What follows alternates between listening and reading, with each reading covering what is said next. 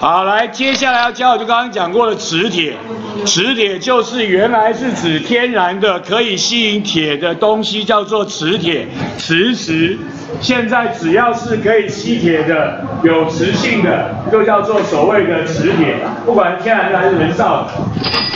然后呢，有这种分类的方法，按照形状分，看一下就好了。条形的、马蹄形的、环形的，这个没有关系。下一个有关系，有所谓的天然磁铁跟电磁铁，电磁铁是后面要教的重点，电磁铁是后面要教的重点，OK，要晓得电磁铁。再来，有分作所谓的永久磁铁跟暂时磁铁，硬磁铁跟软磁铁，这个也是后面要提到的，考试会问的，这也是因为它会跟磁化有关系。它跟磁化有关系，所以这也是后面会提到会问的，永久磁铁、暂时磁铁、硬磁铁、软磁铁，OK，好，这叫做磁铁。磁铁呢，当我将这个磁棒可以自由的旋转，当它静止的时候，它就会指示南北方向，然后后面就会讲说为什么会指示南北方向以后的事情，那所以它可以做成所谓的罗盘。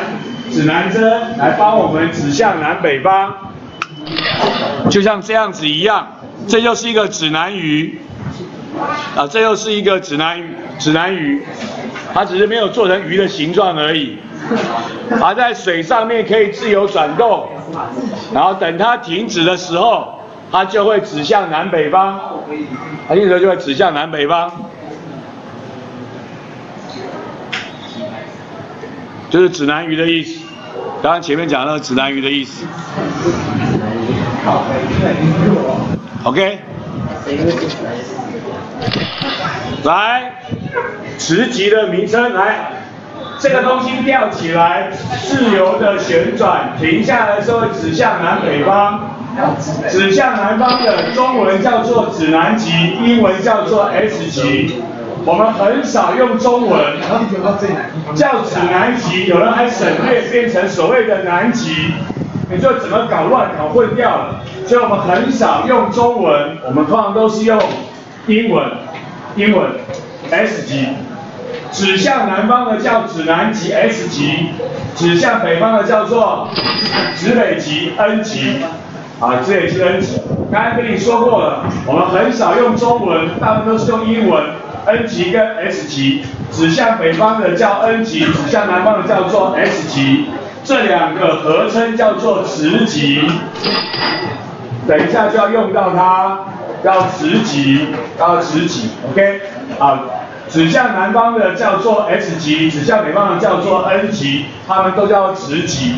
磁极的磁力比较大。